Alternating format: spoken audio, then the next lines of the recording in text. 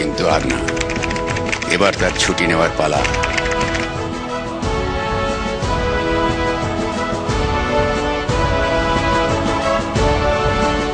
Surrender করবে surrender. ও surrender করলে কি অবস্থা হবে ভাবতে পারছ? আরে টেনশন করছেন কেন? সারেন্ডার করেনি তো।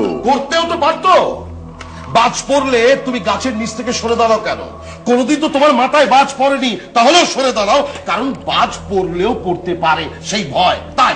আরে দৌড় মশাই আমি তো ওখানে ছিলাম। সারেন্ডার করতে হলে ভেতরে ঢুকতে দিতাম না। আর যদি বাই চান্স ঢুকে যেত তাহলে এমন ট্রিটমেন্ট দিতাম যে মাকে বলতো মাসি তোমায় ভালোবাসি। কি? চুল। ছিঁড়ে ছিঁড়ে গেট পাকিয়ে পাকিয়ে পাকিয়ে পাকিয়ে আটি মারতে। মশাই। আপনি এখনও শানু মল্লিককে চেনেন না? আর যদি না চিনে থাকেন, তাহলে চেনার কোনো দরকার নেই, কারণ শানু মল্লিকের সঙ্গে চেনাচিনিটা খুব একটা সুখের হয় নাকি? শোনো শোনো তুমি কে? তুমি কোথা থেকে? তুমি কেন? সেটা জানার পরেই আমি তোমাকে এখানে ডেকে এনেছি। প্রলয় যদি খুব একটা সাধারণ কিছু হতো, তাহলে ওই পেটো বাবলু বা কানকাটা খোকনকে দিয়ে আমি প্রলয়কে সাঁটিয়ে দিতাম। কিন্তু প্রলয় একটা অদ্ভুত জীব, যে গরিবের ভগবান আর এই শক্তিশালীদের কাছে রাক্ষস। যে রাক্ষস শক্তিশালীদের রক্ত চুষে খায়, তাই সেই রাক্ষসকে মারার জন্য তোমার মতো একটা রাক্ষসের আমার প্রয়োজন ছিল। শোনো, প্রলয়কে এমন মার মারতে হবে যাতে শুধু প্রলয় নয়, অন্য প্রলয়রা ওকে দেখে শিউরে ওঠে। হয়ে যাবে মানে? ও যদি সারেন্ডার করে তাহলে তো ও মাল আমাদের হাতের বাইরে চলে যাবে। এই শোনো ওকে রাস্তায় ফেলে আমি কুচি কুচি করে কাটতে চাই।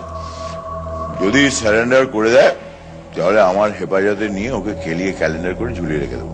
তুমি ওকে ক্যালেন্ডার করবে না লিয়েন্ডার পেজ করবে তাতে আমার কোনো মাথা ব্যথা নেই। শোনো ও যদি বাই চান্স জেলে ঢুকেও যায় তাহলে তুমি ওকে বার করে আনবে। আমি ওর বুকের থেকে রক্ত বার করে আমার মরা ছেলের ছবিতে সেই রক্ত দিয়ে আমি টিপ পরাবো। সেটা তো নির্ভর করছে এখন প্রলয়টা কে তার উপর। কেন নির্ভর করছে কেন? ধরুন প্রলয় যদি কোনো বাচ্চা হয় মানে কিশোরের মতো আর তাহলে একটা মশার হুলের মতো ছুঁচ ঢুকিয়ে দিলে আপনি এত রক্ত পেয়ে যাবেন। তবে সে যদি মাস্টার মশার মতো বুড়ো হাবড়া হয় তাহলে ঘোড়ার ইঞ্জেকশনের সিরিঞ্জের এরম মোটা ছুঁচ ঢুকিয়ে দিলেও আপনি কিচ্ছু পাবেন না রক্ত শুধু হাওয়া বেরোবে। কি? এরকম করে হেসো না শানু। আমার কিন্তু প্রচণ্ড মাথা গরম হয়ে যায়। এটা আমার ছেলের আবদার, শানু। আমি শুকনো শরীর থেকেও রক্ত করি। হয়ে যাবে.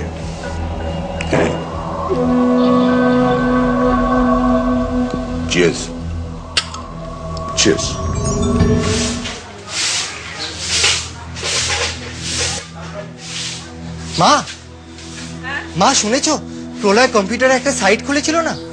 সেখানে আজ লিখেছে যে কাল পুলিশ হেডকোয়ার্টারে গিয়ে নিজেকে সারেন্ডার করবে।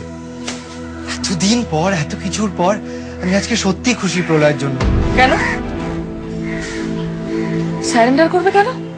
কারণ প্রলয় বুঝেছে যে সে যেটা করছে সেটা ভুল। প্রলয় ভুল না প্রলয় ঠিক। সেই জন্য প্রলয়ের এই সারেন্ডারটা আটকাতে হবে। তোর মনে করাতে কিছু এসে যায় না দিদি। প্রলয় নিজেই জানে যে সে ভুল তার বিচারের রাস্তাটা ভুল। তাই সে কাল সারেন্ডার করবে। তোর মতন প্রলয় নিজেও বুঝতে পারছে না যে এই সারেন্ডার থেকে কারোর কিচ্ছু লাভ হবে না। শুধু কয়েকটা গরিব অসহায় নিরীহ মানুষ আবার অন্ধকারে তলিয়ে যাবে। কারণ ওদের পাশে দাঁড়ানোর মতো আর তো কেউ নেই।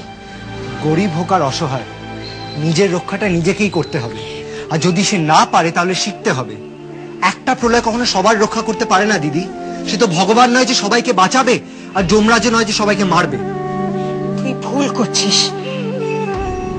প্রলয় ভগবানও নয় প্রলয় যমরাজও নয় প্রলয় একটা ঝোড়ো হাওয়া। যখন সে আসে না, চারিদিকে সব তখন স্থির, শান্ত। সবকিছু যেমন ভাবে চলার তেমন ভাবেই চলতে থাকে। কিন্তু যখন প্রলয় আসে, তখন সব অশুভকে একেবারে লন্ডভন্ড করে দিয়ে চলে যায়। আর সেই অশুভদের মাঝে যারা শুভ থাকে, তাদেরকে উড়িয়ে নিয়ে চলে যায়। কিন্তু শুধু খারাপদেরই খারাপ করে ভালোদের তো কিছু করে না। এটা ঠিক যে প্রলয় ভালোদের খারাপ নিজে হাতে করে না কিন্তু প্রলয়ের জন্য ভালোদেরও খারাপ হয়। যেমন অনিকেত বাবুর মৃত্যু। কিন্তু সেটা তো সেটা তো একটা দুর্ঘটনা ছিল। তাহলে তো পল্টুর মৃত্যুটাও দুর্ঘটনা। ঈশ্বর! কি হচ্ছে কি? কি শুরু করেছিস তোরা? প্রশ্নটা কার মৃত্যু সেটা নয় প্রশ্নটা মৃত্যু। সেটা জারি হোক না কেন। তুই এত কথা বলতিস না যদি জানতিস যে প্রলয় কে? মা আমি জানি প্রলয়কে দিদি যখন তোমায় বলেছিল, আমি সব শুনেছি আড়াল থেকে। আমি যখন জানতে পারলাম, আমার খুব খারাপ লেগেছিল, মা। মাস্টারদাকে আমি অত্যন্ত শ্রদ্ধা করি। কিন্তু আমি তবুও বলব, প্রলয়, ভুল।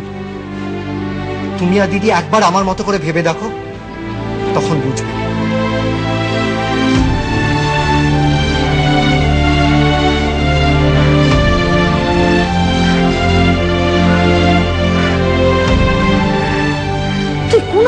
করিসনি। আর আমার বিশ্বাস, অনিকেত, সে যেখানেই থাক, সেও এই কথাই জানে। পৃথিবীতে যতবার অন্যায় আসে, যতবার পাপ আসে, প্রলয় এসে তাকে ধুয়ে মুছে সাফ করে দেয়।